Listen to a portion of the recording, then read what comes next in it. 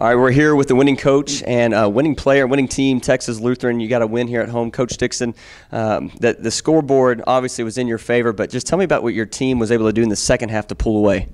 Well, we preached the second half, especially with this game, because uh, when we played Schreiner here in our building in the regular season, we had a like a 30 point lead. Well, we let them get back in the game. They actually they outscored us the second half. Mm-hmm in that regular season game. But so we said we're going to go out, win the third quarter, mm-hmm. win the fourth quarter, and that's it. And that's what they did.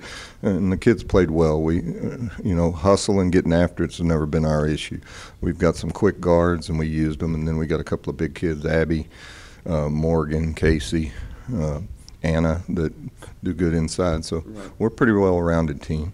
Yeah, really well rounded. And I'm looking up over here to Abby Hroch. Abby, you uh, really helped the team early on with some of your fundamental play, and uh, you went 7 for 11, 16 points, and got a little bit of foul trouble. How did you handle that foul trouble but still able to produce for your team?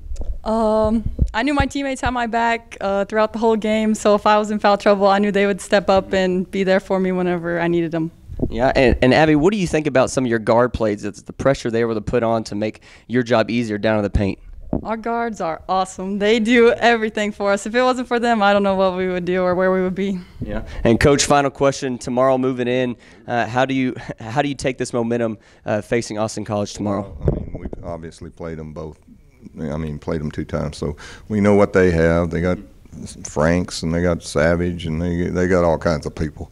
Uh, talent wise, to me, they're they're as good as anybody in the conference, and if not better than most. So we we got our work cut out for for us, uh, but we're not going to back down. I can promise you that. We felt like we should have beat them here the other night. We had chances and got beaten overtime. So we're going to show up, play hard, and what happens happens. Well, you heard it here. This is uh, Coach Dixon, Abby Hroch. Thanks for giving me your time. Got you with the second question, Coach. but well, good luck tomorrow, and thanks you. Thank you.